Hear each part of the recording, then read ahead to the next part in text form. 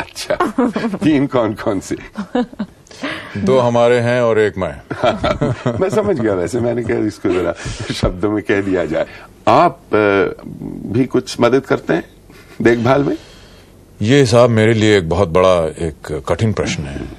और इस इस बारे में मैं बहुत शर्मिंदा हूँ कि मैं अपने काम में इतना ज़्यादा मसरूफ रहता हूँ कि मेरे पास वक्त नहीं है कि मैं अपने बच्चों के साथ जो मैं समय गुजारना चाहता हूँ वो नहीं कर पाता। और मेरे ख्याल से ये उम्र जो है बच्चों की वो इस समय सात साल और नौ साल के हैं। और ये उम्र एक बड़ी एक एक, एक फॉर्मेटिव एज होती है जब मुझे उनके साथ रहना चाहिए।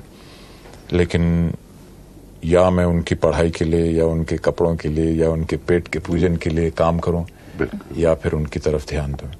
लेकिन कोशिश हमेशा करता हूँ कि बहुत देर तक उनसे दूर न रहूँ। और जब भी उनकी छुट्टियाँ हों तो अपना भी काम इस तरह से प्लान करूँ कि मैं मेरा काम भी चलता रहे और मैं उनके साथ छुट्टियों में भी रह सकूँ। फिर भी मुझे लगता है कि अमित काफ़ी वक्त बच्चों को देते हैं। और स्पेशली जो दोनों बच्चे हैं ज़्यादा अमित से इन्फ्लुएंस्ड हैं। मैं जो घर पे देखती हूँ बच्चों का जो बात करने का ढंग या लिखने में बच्चन जी नाटक में तेज़ी जी की दिलचस्पी। तो उसका असर तो हुआ आपके ऊपर। हाँ। ये ये मैं कनेक्ट कर रहा हूँ पीछे माँ बाप और बच्चों के साथ। सो so, अब फ़िल्मों में जाने में जी। इन चीज़ों का कितना हाथ रहा आप, आप पर? बिना किसी झिझक के तो ये कहना पड़ेगा। और ये कबूल भी करना पड़ेगा कि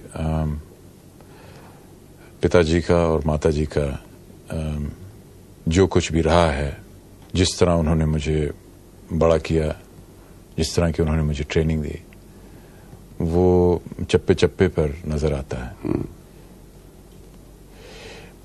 माता जी तो आप जानते हैं कि एक बहुत ही अरिस्टोक्रेटिक फैमिली से थी।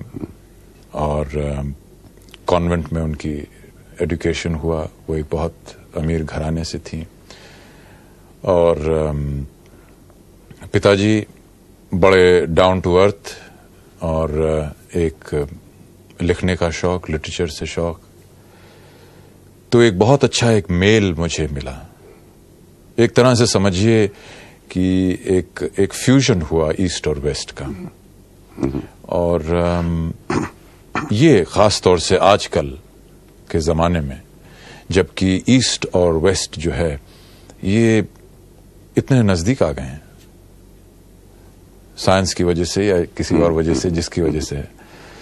और जबकि थोड़ा बहुत उधर भी हो थोड़ा बहुत इधर भी हो जानना बहुत ज़रूरी पड़ गया है।